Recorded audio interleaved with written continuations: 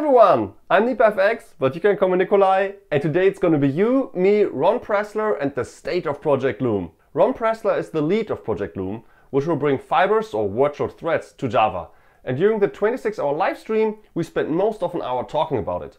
We covered the project's core mission, challenges like interaction with debuggers and garbage collection, the timeline for the next steps, spoiler, Loom is in final descent, compatibility with existing code, and a few more things. Check out the timestamps in the description to jump to what interests you most. Now without further ado, let's get it on! So I want to figure out most of the conversation, like where we're at, what the actual state is, what you're currently working on, what you think will happen soon or just recently happened. But I think it's important to span the, the path from where we are still, because except for some under the hood refactoring, I think Loom did not you know put much into the released versions yet. Um, but from there to the perfect goal of Loom is done, you know, like having those both endpoints, that would be kind of nice. Right. So um, where we are today is Java is uh, very, very extensively used uh, to write servers. Um, and servers are a kind of a concurrent application. So what do I mean by concurrency? Uh, not to be confused with, with parallelism. It means that the application has to handle uh, a large number of largely independent tasks. So every request coming in from different users, they're mostly independent. Um, and they're all competing for the limited resources you have. So you might have 100 servers, you might have one or two, but um, you have some limited number. And if we look at one server, it's handling uh, some number of concurrent requests, uh, which are mostly independent. Uh, and um, they're competing for resources. Now, um, it's better, of course, to if, if you have you know a large application, let's say you Netflix or Google or even a smaller company, it's a bank, uh, you want to have um, to make optimal use of the hardware you have, right? So if if your server could handle, uh, let's say you need you need uh, I don't know, 100,000 concurrent users. And if your server could handle 50,000, then you'd want you, you, you want to have just two servers, or maybe you know four for redundancy, but not 40, uh, because that that is that costs you a lot of money. Uh, so you want each of the server, each of your servers, to to optimally use its resources and to handle the maximum number of concurrent connections that it can. Of course, leaving some room for um, for spikes, etc. Um, and today, this is a bit hard because uh, in Java, developers are faced with a choice, and none of the options are particularly appealing or, or, or perfect. Uh, they could write code uh, using a style of coding that's been there since the beginning of Java, uh, which is uh, the thread per request model which like the old servlets model or the Jack ranks. You you start and end processing a uh, an incoming request, an incoming transaction on a single thread. You might branch out, but for the duration of the transaction, you're holding onto a thread. And the entire um, Java platform has been designed around that. Uh, right, so you have debuggers that you can step through execution on a thread, and you can, um, uh, if you use a profile like JFR and, and, and Java uh, and JMC. Was that Java Management Console? No, Java Mission. Mission Control, yeah. uh, and I just made it up. Oh my See, there it is. Uh, yeah. Uh, so, um, yeah, Don't take up, cat, please. You're muted. I think it stepped on M. Or spacebar. All right, if it stepped on the spacebar, you need to yeah. That's exactly that's exactly what happened.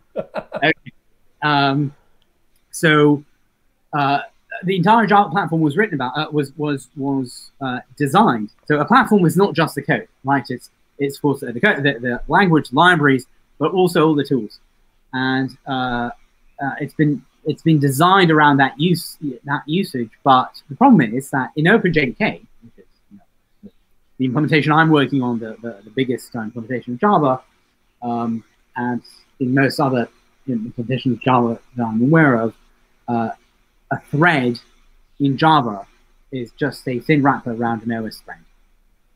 And if you want each of your uh, servers to handle up to you know 50,000 concurrent actions, most OSs won't let you have 50,000 uh, active threads. And it's not 50,000, right? It's actually mu- much more because, say, you also want to, uh, when a request comes in, you might, in order to service it, uh, you might need to call out to 20 microservices. And you might want to do it all at the same time, not one at a time. Uh, so every incoming request is going to be multiplied by 20. Mm-hmm.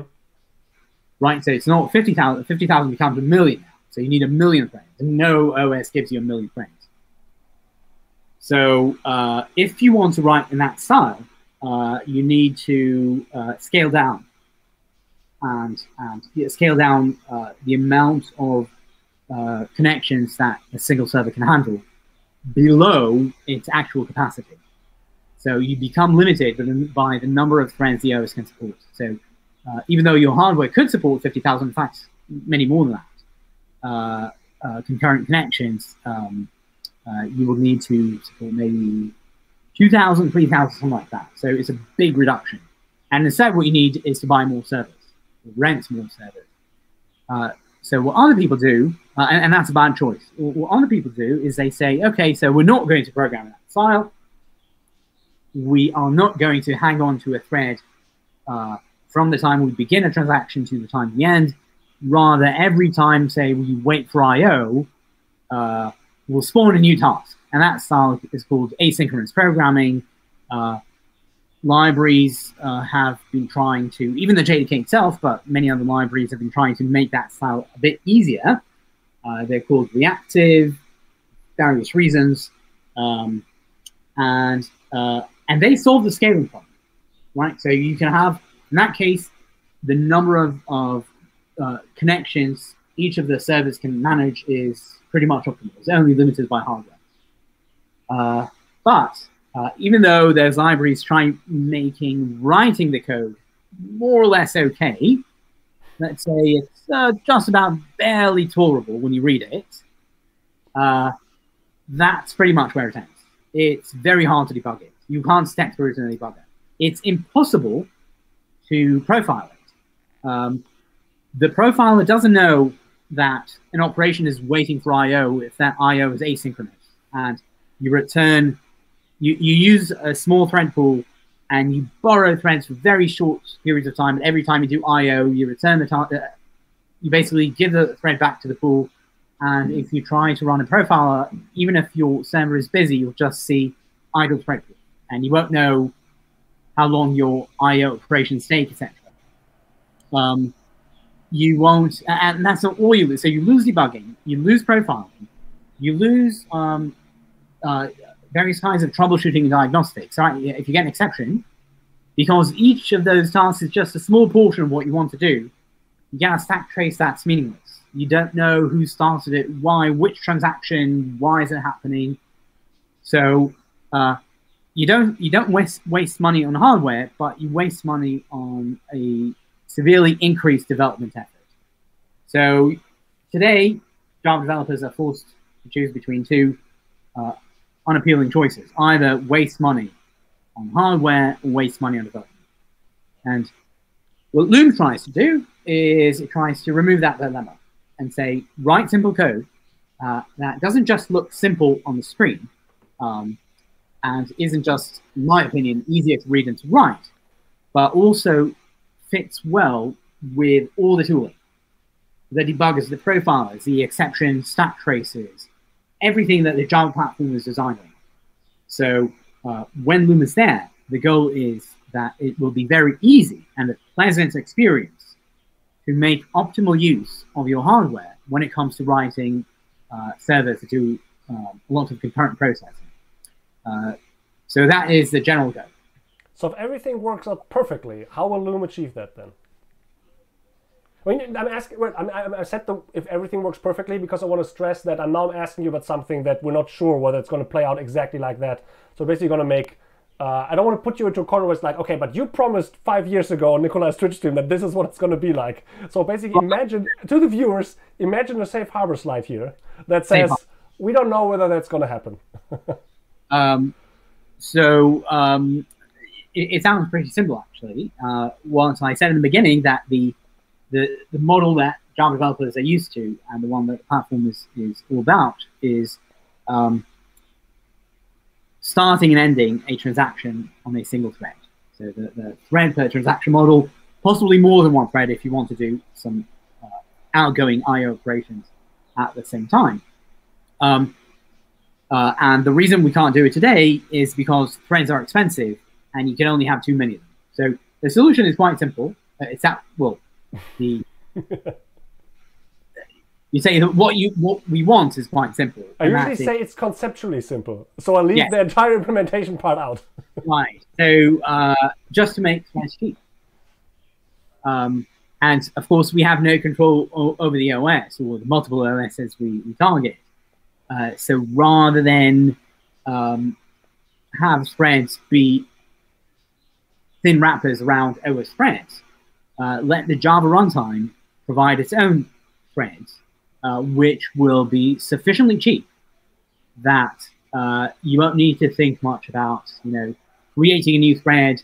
Um, so the vision is every incoming transaction will create a thread. You want to do um, 200 outgoing requests in parallel, fine. So just spawn 200 more threads. Uh, just don't think about it. It's going to be like, um, uh, you know, like creating strings. So you do need to think about a little, just as you do about creating strings, but in a very different manner than we think about creating threads today. So when we create a thread today, we realize we're creating something that is very heavy in terms of resources, and we can only have a very small number of, you know, a few thousand. Uh, and the idea is to have the this new kind of threads be, you know, don't even think about it. Just create a new thread.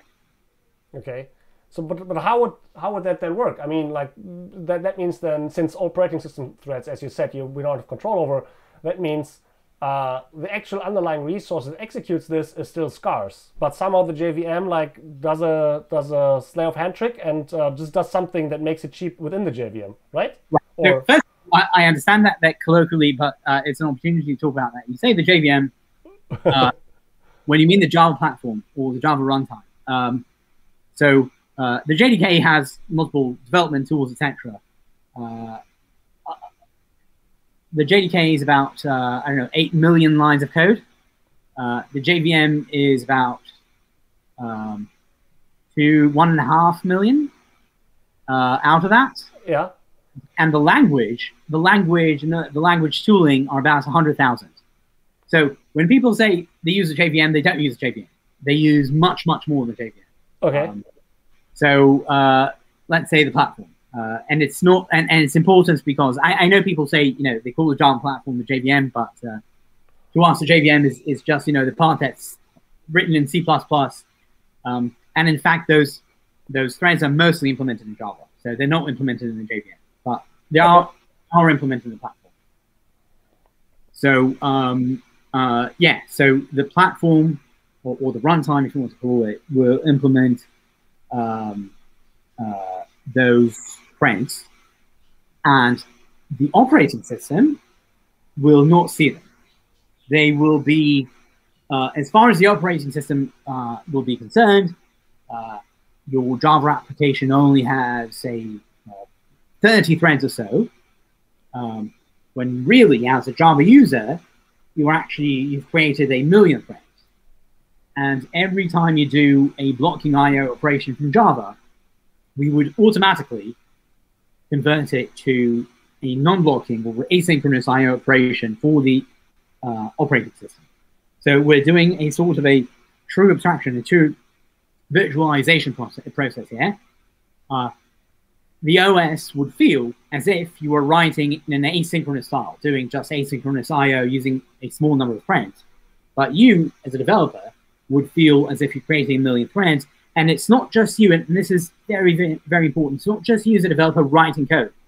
It's also you as a developer debugging code and profiling and troubleshooting code. Um, all that is is virtualized to give you uh, threads from Java's perspective that are not OS threads. Okay, so um, uh, you mentioned that um, that you, for debugging and tooling, you still want to keep up basically the um, the, the facade of this all being like like normal threads. So just things, you know, that all they all keep working. So I assume that would be the challenge, right? Because what you just described basically is saying like, okay, under the hood we're doing all these async calls with just a limited number of threads that the operating system gives us. Uh, then that part sounds a lot like what you said earlier about async programming in general, right? So like it's it's like of course they do it in a different way, obviously, but it's still like to the operating system, as you mentioned, looks the same. So what I think that Loom has to do is keep keep keeping information and things in place, so all, all the things that, that, that, the tooling observes so it works. So for example, I think of thread locals or you know what other things that that thread IDs or other stuff that people or that sorry not people but that, that programs or libraries can use or pull this kind of threading information, and those all have to stick to the um, um, to the idea that well I'm giving you information, but that relates to a not real like not to the operating system thread. It, it is a real threat from Java's perspective. It's not a real threat. So, um, yeah, we're adding a new kind of thing and presenting it as an old kind of thing. And yeah, while Loom has had uh, many different challenges, uh, one of the biggest ones was the debugger support. Mhm. And uh, there is something interesting there. Um, I- think we're almost there. If you use the early access builds today, we up we update them quite regularly, uh, and you try to use you know um, your debugger in you know, Eclipse or NetBeans or uh, IntelliJ, uh, it would just work. So, Um, so let me quickly interrupt you. When you say early access build, you mean the Project Loom early access build, of course, not ones for Java 17 or something. Project Loom early access Yeah. build, it would just work. But uh, there are some interesting challenges. Uh, it's not enough to say that uh, it's okay to say that. Uh, all right, we have this new kind of thread. It looks like the old one, but it's not really. Uh, the and, and hide that from the debugger. Uh, the problem is that there are some things that the debugger has to present to the user and are now going to be different. And that is mostly has to do with the number of threads. So if you if you are, used to uh, using a debugger, uh, you normally see that most of them give you show you a list of all of your threads. Um, with Loom, it's possible to have you know 100,000 or a million threads. Uh, most of the IDEs will just you know freeze or crash if if just in terms of, of, of UI if they try to present you with a list of million items. But even if they didn't, uh, let's say you know they never thought of that, then they can fix it. Uh, it's not going to be very useful, right? Yeah. What what is a list of a million things going to do? It's not like you're going to check and click on them. It's not going to give you any extra information. So uh, one of the interesting challenges is how to present that information, just which threads you have, in a way that makes sense to the users. I don't think that this will be completely solved in the first release, although we have some directions there. Uh, but um, it's possible that we say, you know what, uh, we'll figure that part out. But because it's not, it doesn't make sense for uh, for you to see a list of million friends. And we've spoken to all the, uh, we've spoken to uh, people from uh, JetBrains who work in IntelliJ, people who work in Eclipse and NetBeans, and even people from Microsoft who work on VS Code. And they understand this now. And uh, it's possible that they choose not to present you a list of all threads, but just the threads that something interesting has happened. Uh, say just the threads that hit some breakpoints. Uh, because it wouldn't make sense to show you all of them. Uh, but there might be a time when you say, okay, I, I do want to see all of them, but I don't want a dumb list of a million threads. I want to see maybe the relationship between them. And that is maybe in, in, in later phases of the project, um, perhaps after the first release. Yeah, I was wondering about that. It would be kind of nice if you could see uh, this is the thread that came in from the request, and then it spawned like these two threads to add to databases and these dozen threads to talk to other services, and basically see something that like a flowchart uh, how this thread spawned other threads. That would be kind of neat. So you will be able to see that in the first release. Um, so uh, we- we don't control the IDEs, so they might choose to make use of that, maybe not. Uh, it's not entirely up to us. But if you get a stack trace, a, a thread dump, Mhm.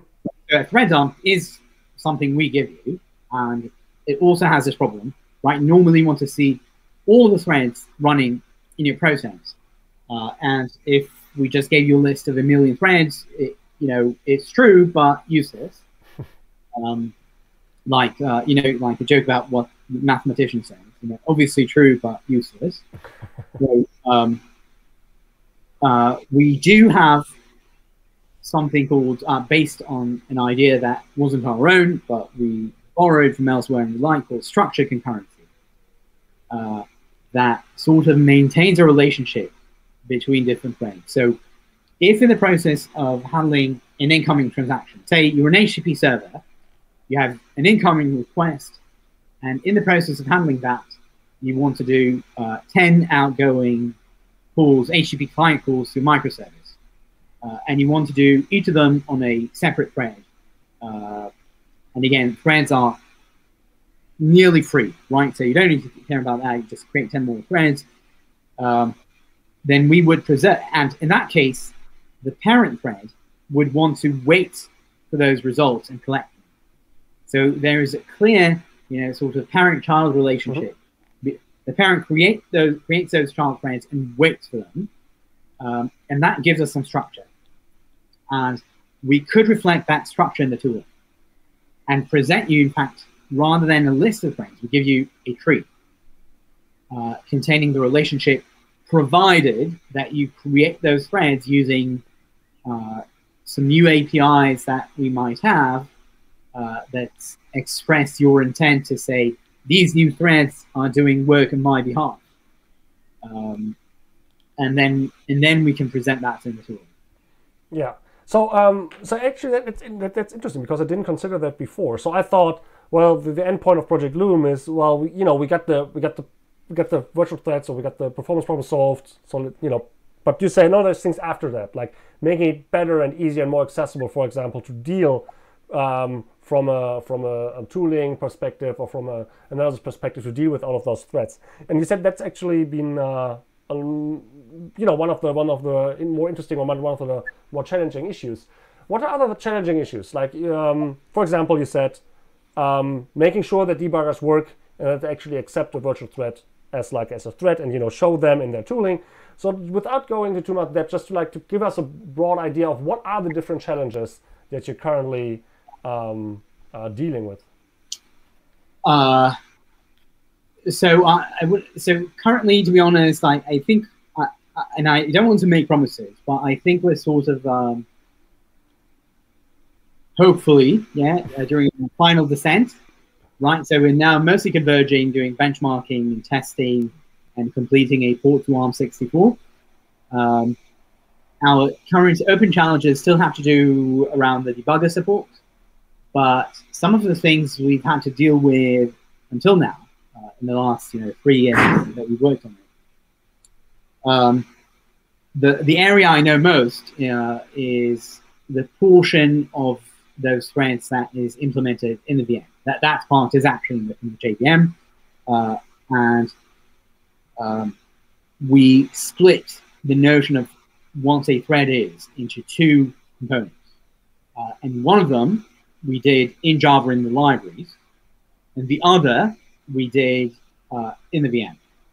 Uh, so the part that so the part that's in the VM we call it continuations. So if you think of what's a thread, a thread needs the ability to say to run something uh, and then suspend itself to say I'm waiting for something, but remember wh where I was, uh, and then uh, when the right time comes, uh, continue. Um, that's one, and that is a continuation, something that tells you when you can stop execution and resume it, suspend and resume it. Um, the other part is job of a scheduler that says um, that decides exactly when the right time is, uh, when to resume the thread on which uh, processing core, etc. So that part, the, the, the, scheduler is in Java, continuations is in the VM, and uh, one of the most challenging things was the interaction with the garbage collectors. Uh, the oh. garbage collectors, the garbage collectors uh, are a tremendous help, but they all, they're also a challenge. One of the reasons uh, we can do what we do, uh, in fact, better than languages like uh, C++ and Rust, um, is because we have a garbage collector. That makes many aspects of implementing threads in user mode uh, much easier. Uh, but it also presents, uh, because when you have a garbage collector, uh, allocating memory, I don't want to get too much into that, but allocating memory is extremely cheap. Uh, and it's also transparent, uh, stuff that's not true for languages like C++, but um, still,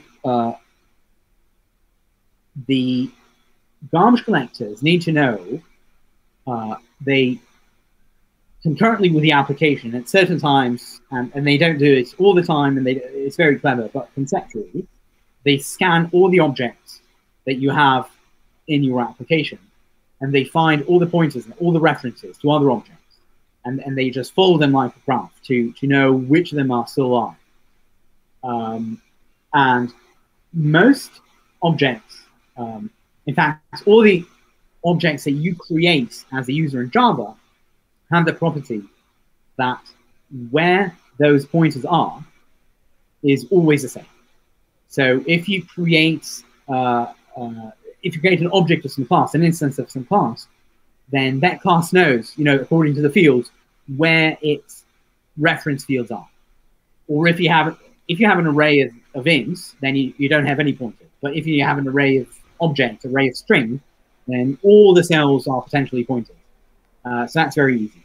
But one place that's different is friend stacks. So uh, you can have, if, if you have a, a Java method uh, with local variables, so some of those local variables are primitives like integers, some of them are references like strings. Um, and uh, even though for a certain method the position of where they are is always the same,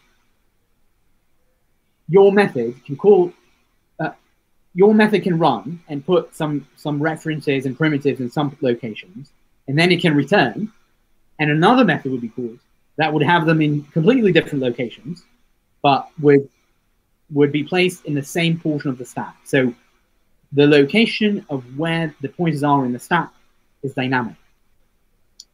And that is why uh, friend stacks are scanned differently from other objects. And they're scanned more expensively.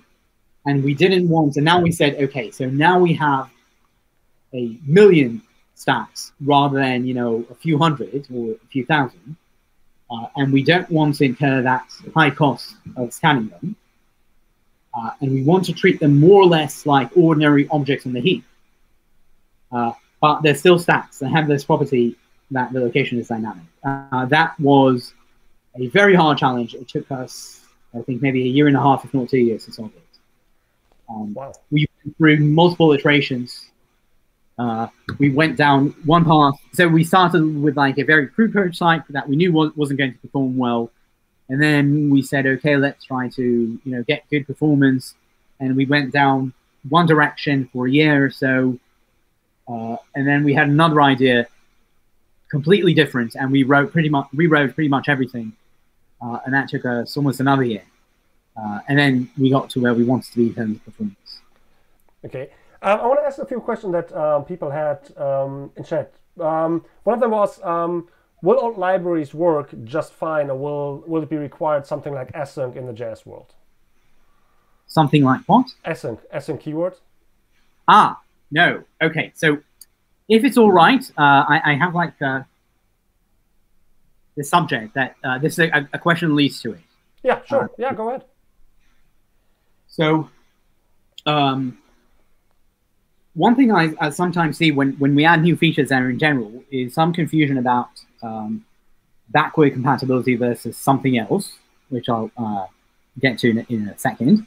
So, backward compatibility is the ability to run existing code on a new version of the runtime uh, so that it behaves the same way. That is backward compatibility and only that. Backward compatibility is one of the most uh, important values in Java. Uh, it's not absolute. You know, sometimes some other values trump it, but it's very, very high uh, on the list. But uh, when we design uh, new features. There is another kind uh, of compatibility, sort of, that we think of, we're thinking of, and that is forward compatibility. And forward compatibility is so. If backward compatibility is the ability of old code to run the same on a new runtime, uh, forward compatibility is the ability of um, old code to be able to use uh, new features or new features to work correctly or uh, to allow existing code to enjoy a benefit from new features. And I think a great example of that is lambdas. Yeah. So um, when lambdas came, you know, there was a ton of code out there that was, you know, using runnables and callable interfaces. And then we said, you know what? Uh, runnables, I, I, say we, you know, the, the, the Java, the Open JDK team, but I, I wasn't a part of it then. Uh, so we collectively, uh, we said, um, you know what? Runnables are actually lambdas. They're a kind of lambda. You can create them with lambda. And then if you had code that was written, you know, in Java 1.4, uh, and it would take a lambda, you wouldn't even need to recompile it, right? You can just pass it a lambda. So that is forward compatibility. Uh, it's not nearly as important as backward compatibility, but we uh, like to have it when we can. Yeah. Um, it, it's a good thing. We, we don't always do it. And later on, you know, maybe if we want to talk a little bit about records and enums, then we have something different. But okay. So uh, in this project, uh, in Project Loom, um, we also have this tension between. Uh, we knew we wanted something that is sort of a new kind of threading, uh, user mode thread, new kind of concurrency, uh, and the thread API uh, has accumulated, you know, a lot of baggage over the years. It's gotten quite big, and I have to say that um, there are many. If you if you go now and look at all the methods on the thread class, you'd be surprised. I'm sure there are methods that you'd never heard, of, you've never seen. Surely. I pride myself in not interacting with threads too much. and, and but and that is the key. So we said, okay, there's all lot of stuff there. Maybe if we uh, if we start something new, something different, right? That would be uh, that's an opportunity because people want, you know, to to get good utilization out of the hardware. They'll use it. They want they want to use it. So let's give them something clean. But then we found out two things. One is what you just said, that people don't actually use the Thread API directly. Uh, ever since Java, uh, was it, five, I think, uh, the Java util concurrent package and um, mostly executors and executor services were added, most people just use execute services, right? They submit a task, they get back a future, and they work like that. So we realized that the fact that the, the thread class itself, you know, has a lot of baggage, doesn't really bother anyone because nobody's using it. And even new users coming to Java, we always try to think, we say there's a lot of Java code out there that's still running and written, but there's going to be more that's going to be written in the future. So we always care more about the future, but we say still, even you, uh, new students of Java, they won't be told to use the thread class directly. On the other hand, uh, some aspects of the thread class or the thread API in general are very heavily used, uh, namely thread current thread and uh, thread local in general. And I think my colleague um, uh, Alan Bateman once tried, I think he said a single call to a popular logging library results in, so one logging call uh, results in, I think, 40 or 40 something calls to thread current thread. Oh, wow. So if we if we didn't support that, nothing would work. Like very little existing code would work. So in the end, we decided that this new kind of user mode thread will just reuse a thread class. Um, you will create it differently, right? Uh, you can think of it as, as, a different constructor. It's just that it's not a constructor. There's a new builder, but those are tiny details. Uh, you will get back a thread but most of the time, you won't use it directly. You'll use it through, you know, the APIs that you already know with Future, with executors, etc. Um, and uh, existing code will be able to, written for today's frames, will be able to just use it. So there is no async keyword, no await keyword.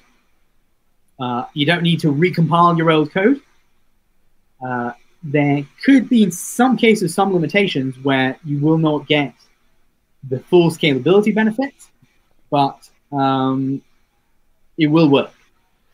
So that means that all code that uh, so code that does not create threads on its own, that's just gonna work, right? So if, if I if I have a library that just does things and now it does those things in virtual threads, it won't even notice.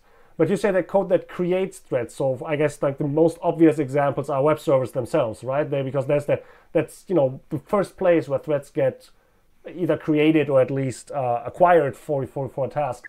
So if they are aware of that, then then they, they, sorry, sorry, they need to be aware of that. They need to change code uh, to uh, create and acquire threads potentially differently uh, with Loom. But then my code that does not create threads on its own, assuming that's the case, then that will all just benefit from that.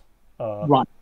Uh, but this brings me to another point uh, I've seen some people confused about. Um, and that is maybe you know the down, downside of, of, of, reusing a thread class. What you want to do, so we've decided to call these um, these new user mode lightweight threads, we, we call them virtual threads, uh, uh, sort of uh, analogously to how virtual memory is this huge amount of memory that's actually mapped to a small limited um, uh, physical resource. So uh, virtual threads are just threads. But some people think, okay, so if I have an application with some number of threads, I will just replace them with virtual threads. No, that will buy you absolutely nothing. So if today you have an application that has, uh, you know, 200 threads, uh, replacing them with 200 virtual threads will not change anything. What you want to do is create a new thread for each of your tasks. And doing that is actually going to be quite easy. Um, so most of the time, what you do is you just submit a task to some executor service. And that executor service uh, uses a thread pool. You never, ever, ever um, pool virtual threads. You always create a new one. So instead of using uh, the cache thread pools or uh, cache thread pool execute, whatever it's called, uh, there's a new kind of built-in executor that you can just use that creates a new task for a new thread for every task you submit. Um, and just submit it to that kind of executor. So if you if your code was already making use of executor services um, that today uses thread pools, just change the instance to this new kind that creates a new thread for each task and, and configure it to create a new virtual thread for each task. And I think that adoption is going to be relatively so there were more questions. Um, I'm just going to read this verbatim, so I'm not uh, sure whether we already answered this. We'll find out together. How does the runtime ensure that the platform threads themselves don't get blocked or the ones observing I.O. completion which would notify the worker or platform threads? Or is it something that's already provided by the OS, like I.O. event completion notifications for user threads? So I guess the worry is you have this actual operating system threads um, that has, still have like a thin layer around them within uh, the actual JVM you told me. Um, and then we have uh, the virtual threads on the Java side that, that use these. So I, think, I guess the worry is how do you prevent uh, the carrier threads, I think they're called, right? To actually yeah. block, like for real, and then you have like a gazillion virtual threads, they all use like the same 20 uh, actual threads that are then all blocking.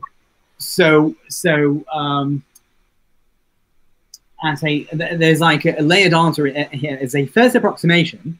Um, a thread block does not doesn't block automatically. You have to do something to get it to block. Now, how, if you try to block a thread in Java, how, would you do it? You have to either do some I/O operation uh, called thread.sleep. Yeah, that's uh, the one. That was wait, uh, uh, some you know, uh, and all the um, Java util concurrent uh, uh, classes uh, for synchronization. Uh, so you have to ask for the thread to block all those operations go through the runtime. And in all of them, we say, are you on a platform thread, that's the old thread, or a virtual thread? And if you're a, vi a virtual thread, we do not block the uh, the uh, the carrier, the, the underlying OS thread. So it's not we don't need to prevent it you from blocking them. It's just that you can't block them. You can only block them through the JDK's APIs, um, and the JDK APIs won't let you block them. They, they translate the operations under the covers. Now, whilst I say now, I said it's a first approximation, it's not entirely true. Uh, there are some situations uh, where we're not able to do that, uh, mostly around file I/O, because some OSs don't um, don't support non-blocking file I/O. In the future, we, we might use io_uring for that, uh, on, on, Linux at least. Uh, and uh, what we do there is that we do block the underlying uh, kernel thread because we have no choice. And by the way, other languages with user mode threads do the same. But in that case, we add more threads to the scheduler's uh, worker pool to compensate. Um, and there are other cases like that. Uh, but uh, net, um, networking I/O, sockets, etc., and all the Java util concurrent mechanisms, they were the most important to us because th those are nthread.sleep, for example. Uh, those are the most common um, examples of blocking, and all those will not block the underlying kernel thread. Mm -hmm. Uh, on the point of structured concurrency, what structures would help us merge the control flows into a single point? Uh, ah. he, said, like, he, he, said, I assume something like virtual thread join would be unmanageable, although I'm not sure how, what, how that what that relates to. No, so, so we do we do have have joins. Uh, it's just that they're not. So uh, the funny thing, uh, I, I, won't get you uh, take you too far into this because this is something that we're talking about right now. Uh, we're refining our APIs all the time, uh, and I hope that we're getting close to where we want to end up. But um, this kind of structure already exists in Java. That wasn't the case for Go, for, Go, for example. But uh, when we added, uh, we added um, uh, Java util concurrent uh, in Java 5, um, we've already added a structure, even though people didn't realize it. Um, so the take a look at the executor service uh. Uh, it has a method called invoke all, that you give it a list of tasks and it waits for all of them and gives you back some uh, result. There's invoke any that waits just for the first one and then it cancels all the others. And executor service itself has a uh, terminate and a wait for terminate completion, something like that. I don't remember the exact name.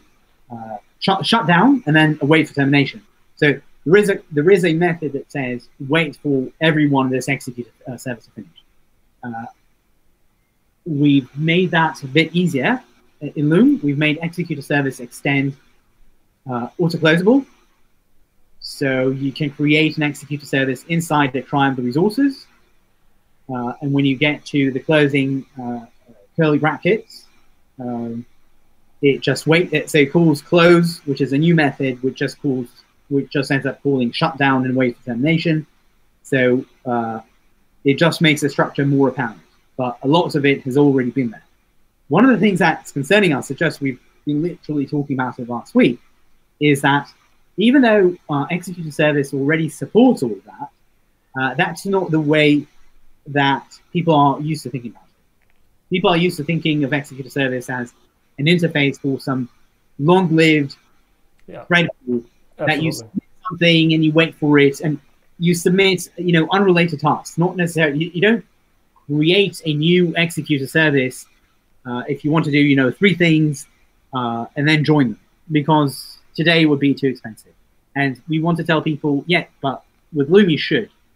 So there's a bit of a marketing problem here. Uh, so we might be introducing, you know, moving uh, the methods to create this new kind of execute service, or maybe make it a subclass with a nice Java doc and say this is a structured. Uh, this is how we want people to think about it. It's sort of so there are some educational challenges as well.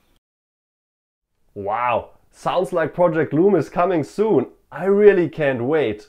Uh, more things people can't wait for, projects Panama and Valhalla.